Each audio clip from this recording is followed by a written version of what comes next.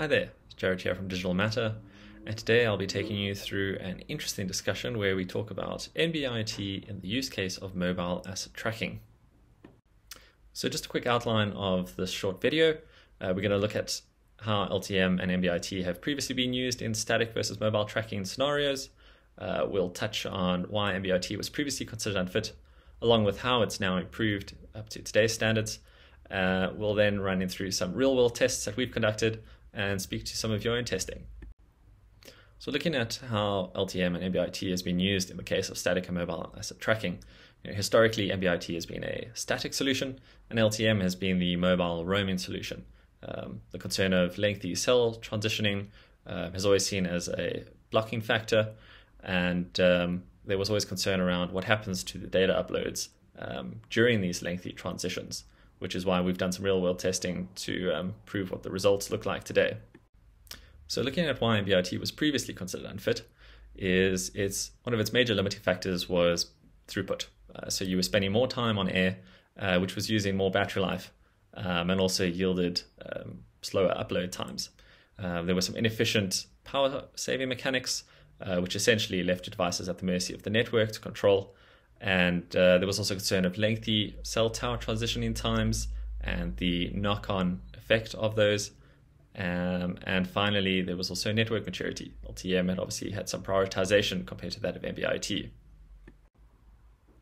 NB-IoT has certainly matured though along the way, um, with NB2 really uh, gearing up what the technology is capable of.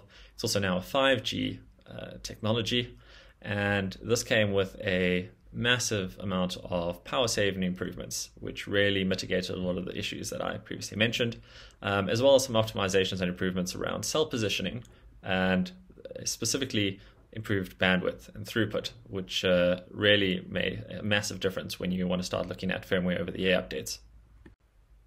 So, looking at some real world testing, uh, we performed our first set of tests in South Africa, um, an area where NB-IoT is only just being rolled out.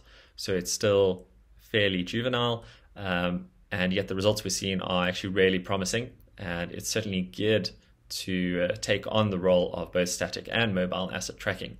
So looking at about a 15 minute trip we did um, on an asset that was varying at quite high speeds, um, just to really you know, put the cell transitioning times through their paces. We've seen some great consistency in those averages, uh, where they've ultimately come out um, on par between 2G and NB-IoT. And we've actually seen some better consistencies in the transients between those transmission delays. So you're actually achieving better near real time consistency with NB-IoT as a result. Uh, it's also worth mentioning that there is load shedding, which plays a factor in this region. And um, it certainly goes to show how resilient NB-IoT is in handling that by offering improved coverage per tower as compared to 2G. So our second set of tests were performed in Australia, where both LTE-M and NB-IoT networks are fairly mature. Uh, we do see that in the improved average transmission delay times, which is great. Um, and we only see a few small transients in you know, the worst case transmission delays, uh, which is really great to see and proves that you know we, we can really achieve both static and mobile um, tracking on either technology at this point. So just to summarize some of those results that we've seen, um, you know, we're seeing average transmission delays on NB-IoT generally, one, I think, 1 to 15 seconds, um, closer to the 1. And we're, we're seeing a lot of uh, network rollout to complement NB-IoT. Um, it's proving to be quite a capable technology. Um, and NB2, as a specification, has really uh, made up for the lacking components that NB1 originally suffered from. Um, we also noted that when the devices are performing cell tower transitions on NB-IoT, your connection to the server is actually preserved. Um, so you have quite a nice grace period for the device to reattach onto another cell tower and continue its upload without effectively destroying the upload. Um, and we've seen a great ability to monitor uh, mobile assets in near real time um, as a result. Uh, the great thing is also seeing that the bandwidth has improved on NB-IoT, so we're easily able to achieve um, firmware updates over the air or OTA updates, whatever other um, uplink and downlink activities you require in your scenario. Um, and effectively, it's a future-proof solution being a 5G technology.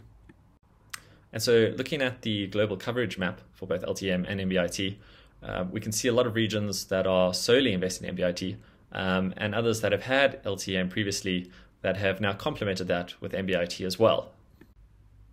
So, what comes next? Well, really, that's up to you. Um, we encourage you to try out NB-IoT as a capable technology in your next um, deployment. You know, see how it performs in your region, um, whether it can meet your needs. Uh, we can certainly help from a hardware and technical assistance perspective. And uh, we've got a great knowledge base that we encourage you to go and read through, which is really documented you know, the years of um, experience and the results that we've we found in using both LTE-M and NB-IoT um, in a range of use cases. So thank you for your time, and uh, we hope that you found this very short video um, insightful. And uh, we look forward to hearing from you soon about uh, the interesting use cases that you plan on tackling. All the best.